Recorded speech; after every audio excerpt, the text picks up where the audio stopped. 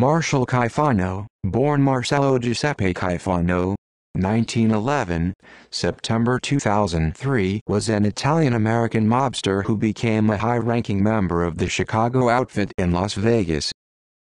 Early career Caifano immigrated to Chicago from Italy in the 1920s and became affiliated with the Chicago outfit and mobster Paul Ricca.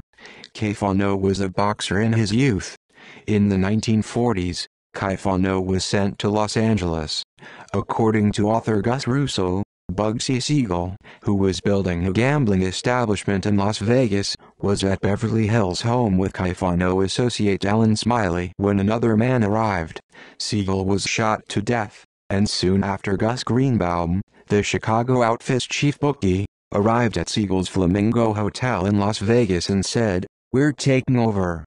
In 1943, Nick Circella, Caifano's associate, was tried for extortion trial of his girlfriend, Estelle Carey who was about to testify against him until her burned and stabbed body was later found. Caifano was suspected of the murder, but the case was never solved.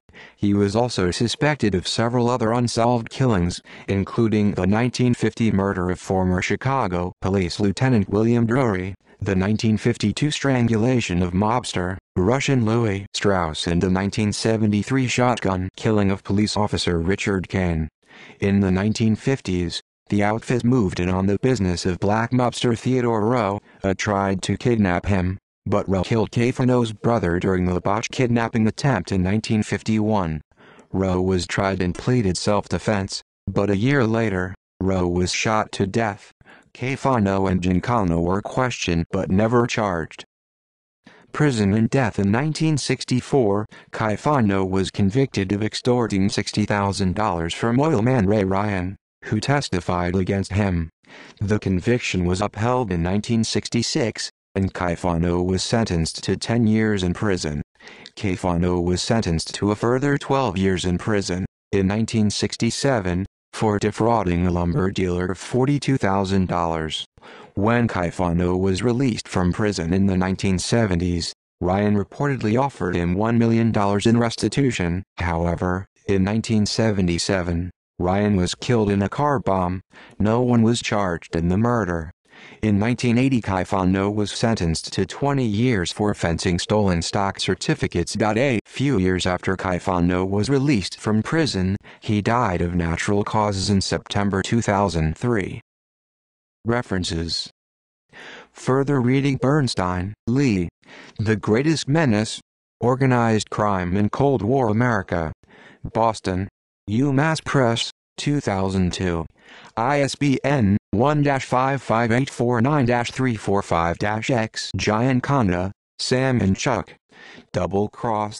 The Explosive, Inside Story of the Mobster Who Controlled America. New York. Warner Books, 1992. ISBN 0-446-51624-4. Ovid, Demaris. Captive City. Chicago in Chains. New York.